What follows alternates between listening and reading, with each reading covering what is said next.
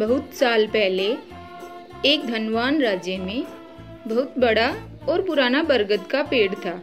उस पेड़ पर एक कौवा और कौवी का जोड़ा रहता था। ये जोड़ा दिन भर भोजन की तलाश में बाहर रहता और शाम होते ही लौट आता। उसी पेड़ के पास एक दुष्ट सांप भी रहता था। कौवा कौवी का जोड़ा बहुत ही आराम से गुजर बसर कर रहा था।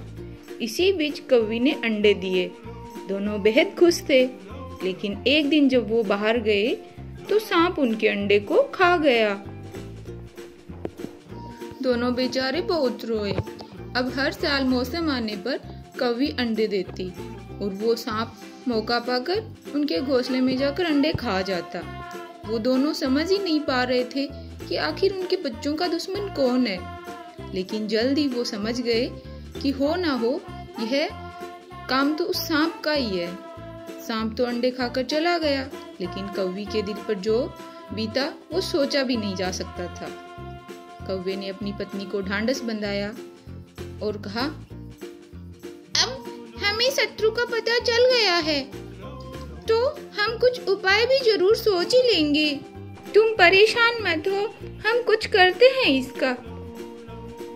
कौवे ने काफ़ी सोचा और अपने मित्र लोमड़ी से सलाह लेने के लिए दोनों उनके पास गए।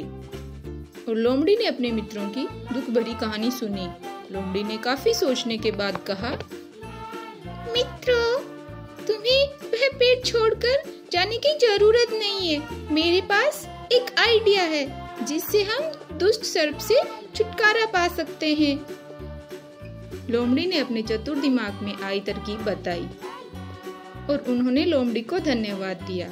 और अपने घर लौट गए दरअसल, उस प्रदेश की राजकुमारी एक तालाब में अपनी सहेलियों के साथ खेलने के लिए आया करती थी और उनके साथ उनके बॉडीगार्ड और सैनिक भी आते थे। जब राजकुमारी और उनकी सहेलियाँ तालाब में स्नान करने के लिए उतरी तो योजना के अनुसार कौवा उड़ता हुआ वहाँ आ गया और उसने पहले तो राजकुमारी और उनके सहेलियों का ध्यान आकर्षित करने के लिए काव काव का शोर मचाया। फिर राजकुमारी तथा उसकी सहेलियों के द्वारा उतार कर रखे गए कपड़े और आभूषणों में से राजकुमारी का प्रिय हीरे और मोतियों का हार वहाँ से अपनी चोंच में दबाकर ऊपर उड़ गया। सभी सहेलियाँ चिल्लाई, अरे, रुको, वह राजकुमारी का हार उठाकर ले जा रहा है। देखो देखो, राजकुमारी का हार ले गया वो। सैनिकों ने ऊपर देखा तो सचमुच में एक कौआ हार लेकर धीरे धीरे उड़ता जा रहा था। सैनिक उसी दिशा में दौड़ने लगे। कौआ सैनिकों को उसी पेड़ की ओर ले आया। जब सैनिकों ने कुछ ही दूर पर रह गए तो कौवे ने हार इस प्रकार से गिराया कि वह सांप के बिल के अंदर जाकर गिरा। सैनिक दौड़कर उस बिल के पास पहुँचे तो उन्होंने वहाँ पर हार के पास एक बड़े से सांप को देखा। तो सैनिकों ने उसे भाले से उस सांप के टुकड़े टुकड़े कर डाले।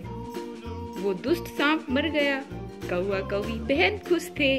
तो हमें इस कहानी से यह शिक्षा मिलती है, शरीर से आप भले ही कमज़ोर हो, लेकिन सूझबूझ का उपयोग कर कर हम बड़ी से बड़ी ताकत और दुश्मन को हरा सकते हैं। बुद्धि का प्रयोग करके हर संकट का हल निकाला जा सकता है।